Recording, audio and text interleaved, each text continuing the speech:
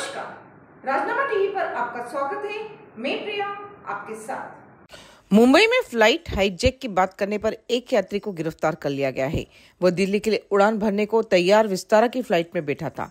उसने फ़ोन पर किसी से कहा, हाईजैक की सारी प्लानिंग है। उसका सारा एक्सेस है, चिंता मत करना। ये सुनते ही उसके बाजू में बैठे दूसरे यात्री ने क्रू मेंबर को यह बात बताई। उन्होंने उस संदिग्ध यात्री को सीआईएसएफ के हवाले कर दिया। ये घटना गुरुवार की है। मीडिया में ये जानकारी शुक्रवार को आई। पुलिस के मुताबिक आरोपी यात्री की पहचान हरियाणा के रितेश जुनेजा के रूप में हुई है। आरोपी यात्री की मानसिक स्थिति ठीक नहीं है। उसका 2021 से इलाज चल रहा है। कैबिन क्रू की शिकायत पर यात्री के खिलाफ सेक्शन 336 और 505 के तहत मामला दर्ज किया गया है।